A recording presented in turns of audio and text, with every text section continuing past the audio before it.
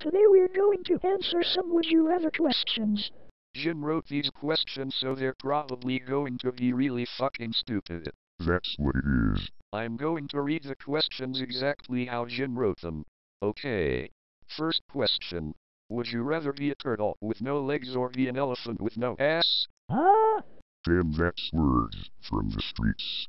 Anyways, I'd rather be an elephant with no ass, why? Because turtles are faggots. Hey, that's racist probably. That's what it is probably. Would you rather aliens not exist probably or door get stuck all the time? What the fuck kind of cue is that? Well, Jim's an idiot fucking nerd probably. Yeah, that's true.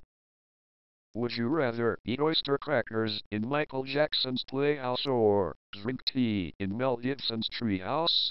Tea in Mel Gibson's treehouse. Tea with melon hell. Bitch. Okay. Uh, this question just says Pickle Ninja Ass Assassin 69. The fuck?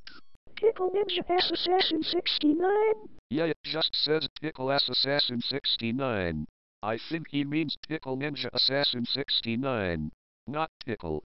Ass Assassin 69 probably. Damn it, Jimmy, Jim, Jim, Jimmy.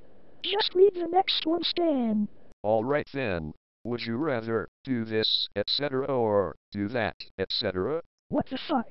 That, etc. Why? That's what it is, etc. Ah, Okay.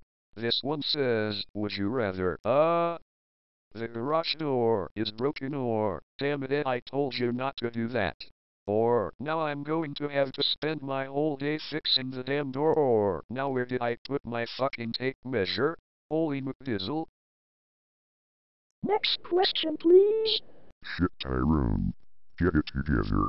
Would you rather eat a cat food slushy or eat cat food flavored ice cream? I'd rather eat a cat-flavored cat. Bitch. Jim really is a sick fuck. That's what he is, G. Would you rather, would you rather, or would you rather? What the hell? I don't know. Would you rather? That's what it is. Ah, Okay, last cue. Would you rather get bitten by a radioactive palm tree or get bitten by a radioactive pear tree? Palm tree. Bitch. yeah, palm tree. That was a really easy question. Okay, now this shitty video is over probably. Bitch.